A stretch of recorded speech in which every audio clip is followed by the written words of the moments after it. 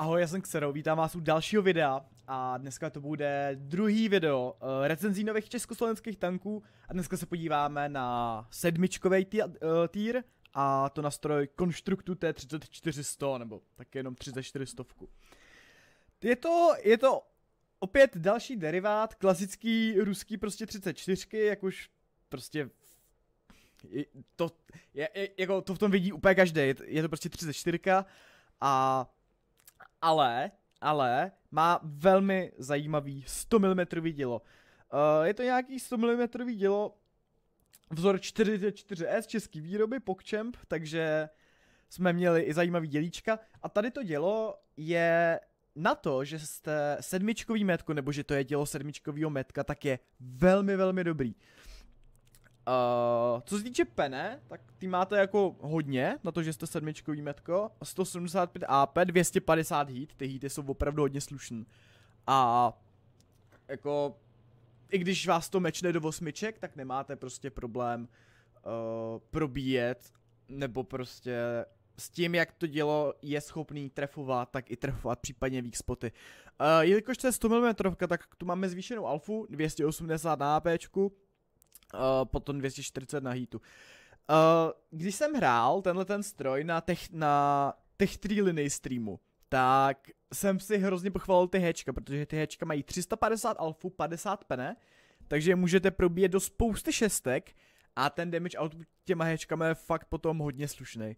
Uh, co se týče nějak elevace deprese, deprese 7 stupňů, elevace 22, takže Deprese není to žádná sláva, ale mohlo by to být i mnohem horší, takže furt pohodě hratelný, 22 elevace je slušný, zvednete úplně kamkoliv.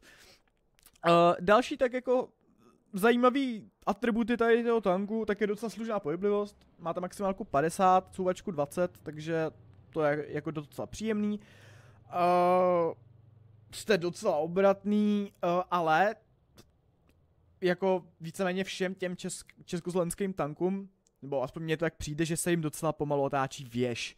Ale, ale jako podle mě, podle mě, když porovnáváte třeba TVPO a ruský metko, tak, tak, tak to nejde porovnávat právě. tak a co se týče pancíře, tak eh, na pancíř jsem si tady eh, pro vás otevřel uh, Blitzhangar a podíváme se na ten pancíř uh, nějak trošku líp vizuálně. Tak já si to takhle full screenu. Na vrchním plátu máte 45, uh, eh, ale je to pod úhlem, tady to jsou pak samozřejmě weak spoty, tadyhle ten Commander Hedge a, a, a tadyhle ty plošky. Tady ta ploška je ne weak spot, ta je trošku silnější, je to vlastně místo, je to vlastně místo, kde je v té hře, uh, kde je v té hře ten pás, takže vidíte, že, že ten pás funguje jako Space Armor. Podobně to funguje i u devítkový Škody T50, na to se podíváme, na to se podíváme v budoucnu. Uh, a jinak ten, ten upper plate, uh, můžete někdy něco random bouncenout, když prostě se nějak budete úhlovat. Prostě úplně klasický profil Armor 34. Co se týče té tý věže, tak ta už je aspoň malinko zajímavější. Máte tady ten obrovský mantlet, Uh, což je 100 mm space a za ním je, je ještě 35, takže tadyhle je, je nějakých 135 nominál. Uh, s tím, že vedle toho dělá DD probít. Uh, tadyhle ty boky, tady to spíš bude bouncovat, jsou tady úhly, to stejný platí o té druhé straně a tadyhle ty, tadyhle ty turret cheeks, tak ty už mají docela slušný úhel. Takže to už by taky mohl být autobounce takhle. Takže jediné, na co je třeba dávat si pozor, je napene přímo do mantletu a případně neukazovat nepříteli bok a ti nenegujete tady ty plošky a pak samozřejmě dávat si na, na kupuli, která je docela velká a Uh, I za těch pár větev, kterých jsem s tím tankem na tom Tech 3 linii streamu zahrál, tak mě docela párali do té kopule. Takže na to je potřeba si dát pozor. Tak, jelikož nemám žádný replay, který bych vám tady ukázal, uh, doporučovali jste mi v komentářích, ať uh, do těch recenzí dávám třeba i povedený replay, i ty naživo hrané hry, což je actually dobrý nápad a budu to tak klidně dělat, ale jelikož žádný replay nemám, tak uh, teďka se pokusím, teďka se pokusím vám ještě nějak říct vybavení, a v rychlosti, v rychlosti vysvětlit playstyle toho tanku a ukážeme si třeba zase dvě nebo tři naživo, naživo zahraný bitvy v tomhle videjku.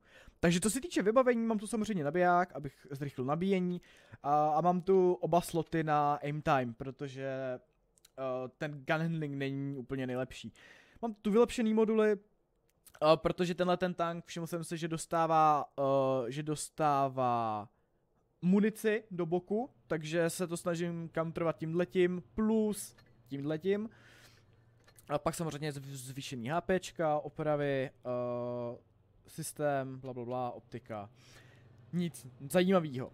Co se týče munice, tady nutno podotknout, že tenhle ten tank má jen a pouze 30 kusů munice.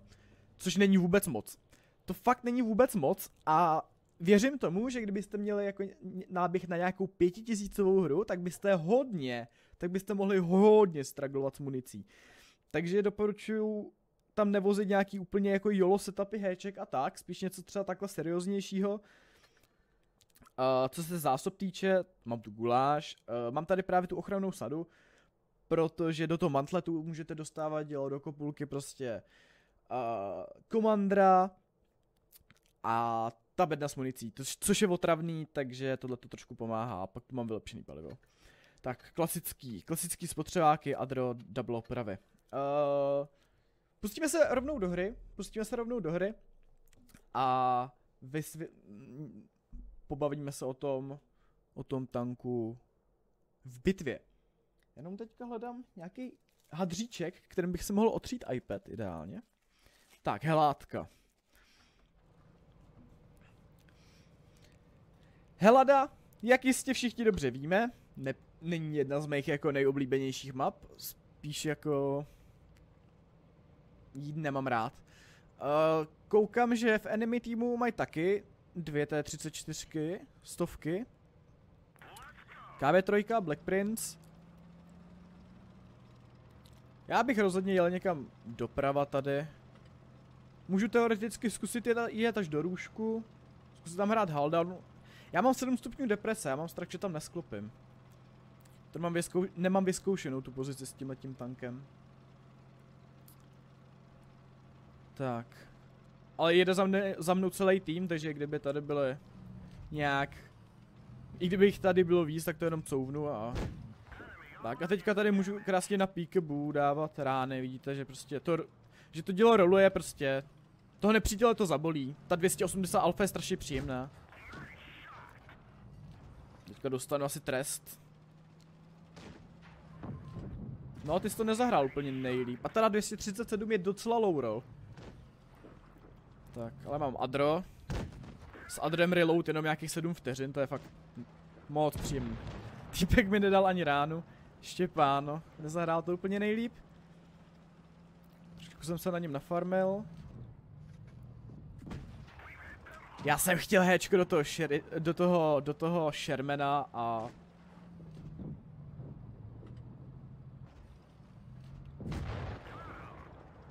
Aspoň jsem vyžral ten kill, ale tam to měla být pene do toho boku za třeba 350 plus, to mě trošku mrzí. To mě trošku mrzí.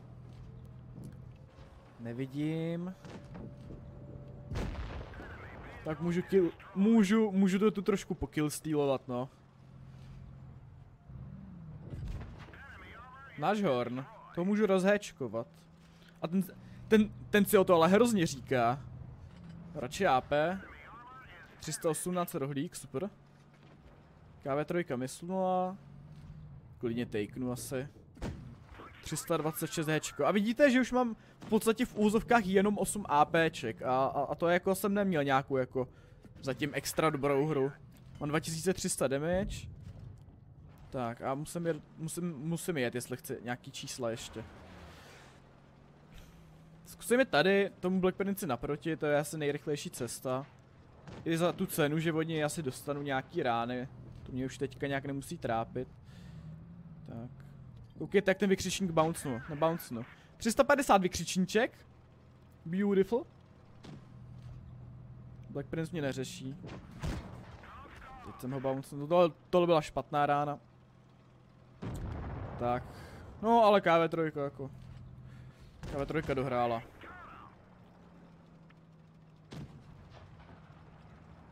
Stínu ještě teoreticky tu ránu. Nice.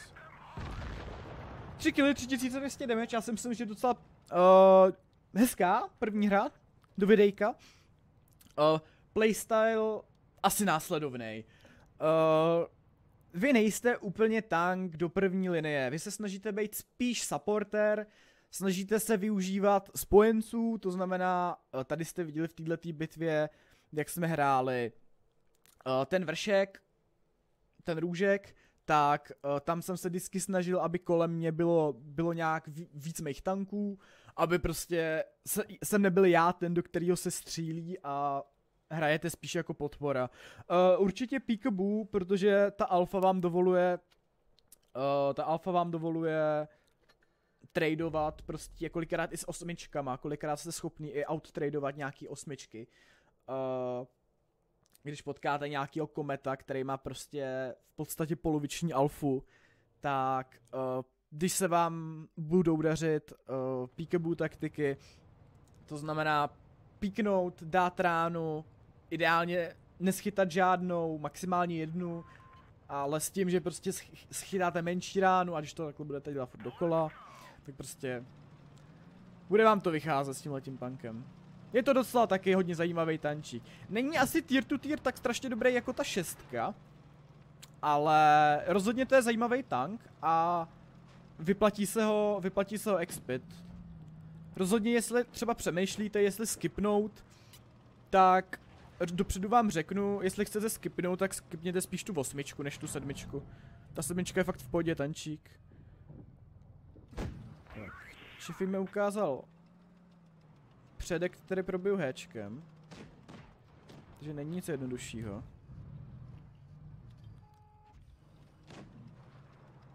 Jo, ta Škodovka pušuje.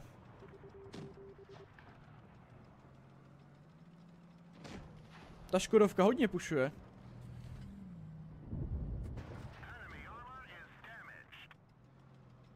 Já mám na ránu. Au, 200 mi dá, ok, bounce.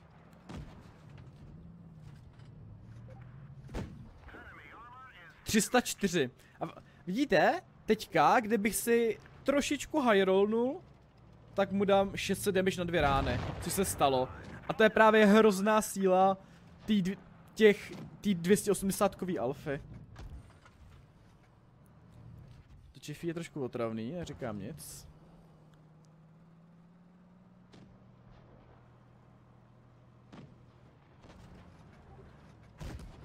Já budu doufat, že mě obouncuje na ten mantlet. Což se tak nějak jako stalo, nestalo. Hečko do Čiriny, 380 hečínko, nádhera. Tak akorát Čirina nabíjí prostě nechutně rychle ten zásobník.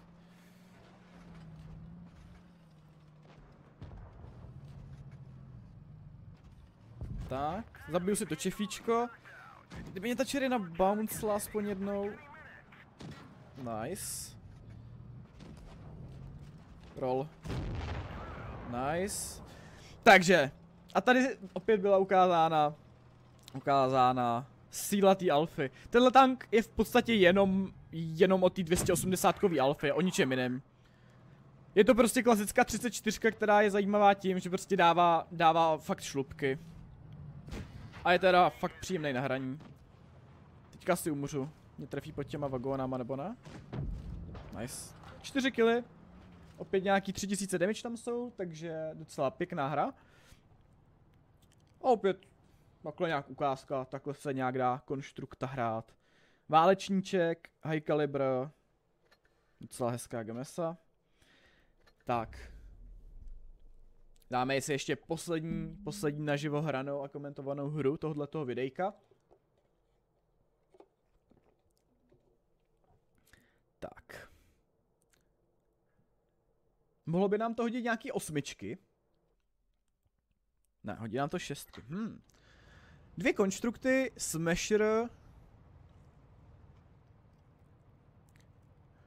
Smasherovi bych nemusel úplně píkovat bokem, protože Smasher by mě mohl rozebrat héčkem nebo mě amoreknout do boku, takže na to je potřeba si dát pozor. Neudělat takovouhle hloupou chybu. Uh, zkusím, tohle je si, si, si to low tier mapa, pořádně nevím jak se hraje, ale klasicky asi předpokládám, že bude fungovat tady ten Ridgeline. Takže zkusím tady ten Ridgeline. Dát si tu nějaký nástřel.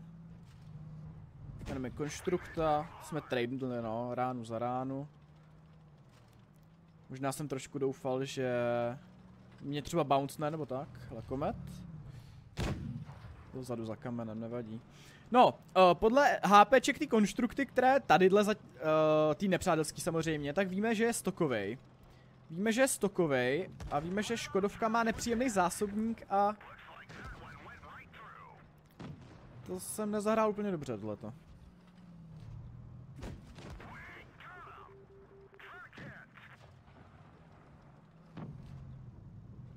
Mohl bys to někdo zabít, prosím?